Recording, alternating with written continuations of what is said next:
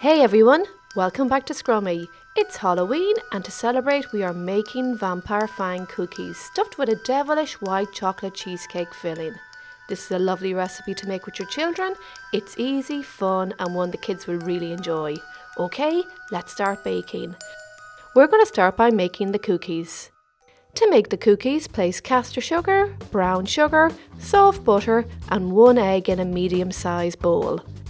You can do this in a stand mixer or using a hand mixer, whichever you prefer.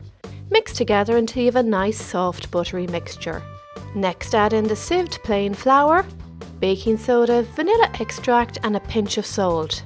Make sure not to use self-raising flour as you don't want these cookies to rise. Mix with a spoon until the mixture forms a dough. Now add the chocolate chips. I'm using milk chocolate chips but you can use dark, white chocolate or even a mix of both if you wish. Fold them into the mixture. This mixture will make 12 cookies.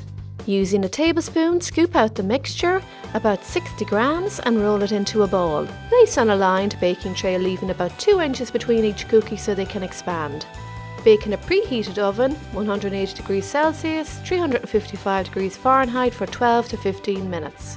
Here we have them, and they're a lovely golden colour and smell really good. Cool for about one hour before decorating. The white chocolate cheesecake filling is next. Pour double cream into a bowl and whisk until the cream forms stiff peaks. Add in the cooled melted white chocolate and the cream cheese, you can also use mascarpone. Fold everything together until all the ingredients are combined. That's it, very easy. Now I'm going to pop this into a piping bag.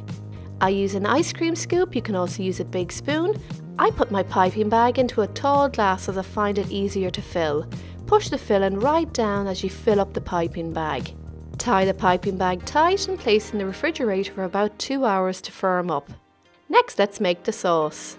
You just need red jam for this, I'm using strawberry, pop it into a bowl and mix in a little warm water.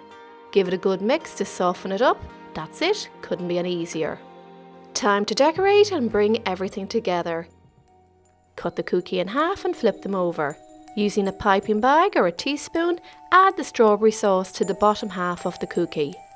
Pipe the white chocolate cheesecake filling like teeth on top of the strawberry sauce and fill the centre with a little of the filling too. Place the top half of the cookie on top and press down gently. To give this cookie that vampire look, add two sliced almonds for fangs. Here they are, they look fantastic. These vampire fang cookies will look so good on your Halloween table. You'll find the full recipe in the description box under the video. Hope you enjoyed this video tutorial and have a spectacular Halloween.